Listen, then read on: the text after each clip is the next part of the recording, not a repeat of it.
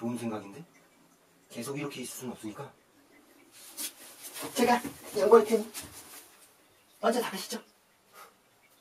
야, 너 잔머리 보니 나한테 죽는다. 저는 머리를 쓸줄 몰라요.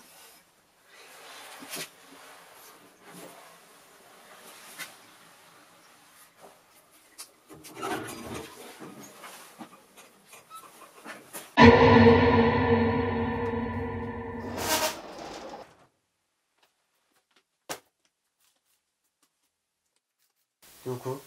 나 도둑인데. 손들어.